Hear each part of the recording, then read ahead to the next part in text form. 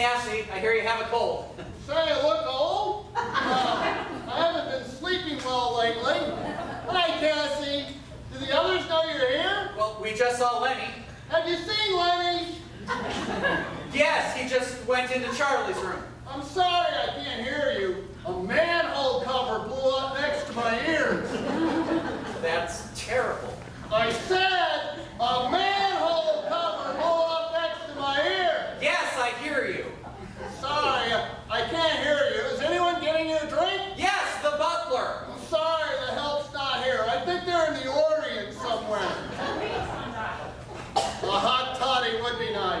Well, I'm going to go see if Charlie's, uh, or Lenny's in Charlie's room. We'll all be down soon.